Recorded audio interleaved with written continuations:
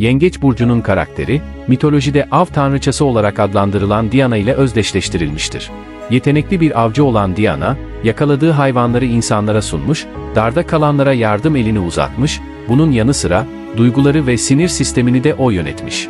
Bu özellikler yengeç burcu insanının da özellikleridir. Aynı zamanda kahramanlar kahramanı Herakles, Herkül, mitolojide en çok tanınan, en sevilen karakterlerden biridir.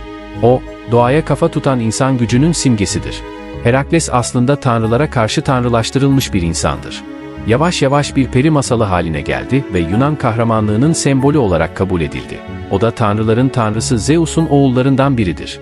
Zeus babası Amfitrion'un kılığına girerek annesi Alkmene ile birleşmiş ve bu birleşmeden Herakles yani Herkül doğmuştur. Herkül'e Kral Eurystheus tarafından kendisine 12 görev verilir.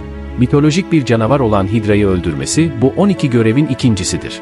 O canavarla savaşırken, ezeli düşmanı Tanrıça Hera, Herkül'ün ayaklarına büyük bir yengeç göndererek, dengesini yitirmesi için elinden geleni yapar.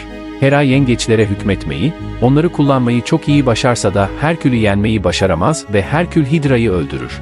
Tam o sırada gökte yükselmekte olan büyük takım yıldızına yengeç adı verilir.